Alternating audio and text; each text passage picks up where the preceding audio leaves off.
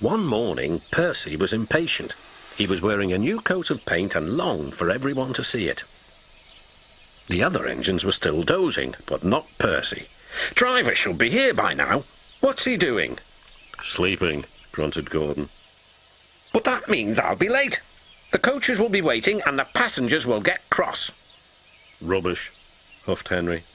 It's still early, added James. You just want to show off. No, I don't. Never mind, Percy, said Thomas. It'll soon be time for work. But be careful or you might run into danger. And Duke is not here to save you. Duke? stuttered Toby. You mean our hero? A large painting of Duke hung in the engine shed. The very same, said Thomas. Driver told me the story. Listen. And this is the story Thomas told them. Long ago, when Peter Sam was still called Stuart and Sir Handel Falcon, they worked with Duke on his old railway, but Falcon still had a lot to learn. The manager came to see him. Falcon, I'm pleased with your work so far. Now you must learn a difficult part of the line. We call it the Mountain Road. Falcon was excited. Yes, please, sir. So tomorrow, continued the manager, when you have a new coat of paint, you will go on it. Duke will explain everything. Huh, thought Falcon. Duke's an old fusspot. The next day came. Listen, warned Duke, the mountain road is difficult. I'll lead. No, replied Falcon, I'll lead. How can I learn the route with you lumbering ahead and blocking the view? Suit yourself, said Duke. But never mind the view, look at the track. The engines set off.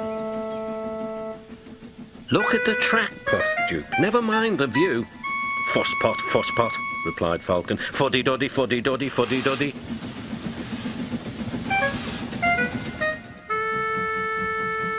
The engine's speed grew slower and slower.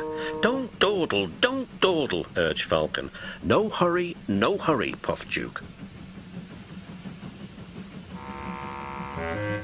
Soon they approached a tunnel.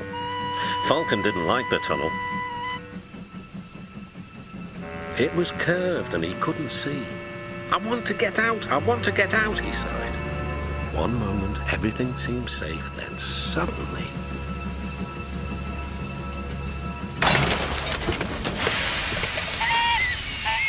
Falcon was derailed and hung dangerously over the edge.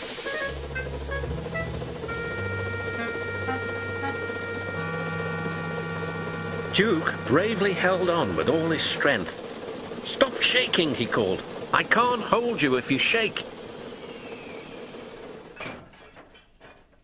Duke's driver and fireman worked quickly to make the two engines safe again. Then came more trouble. Water! cried Duke's fireman. Duke needs water, quickly! Luckily, there was a workman's cottage nearby.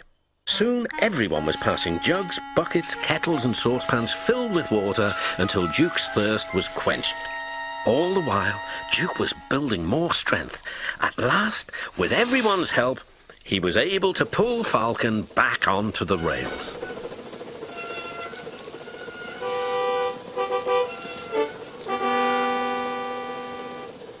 Then, they started off once more.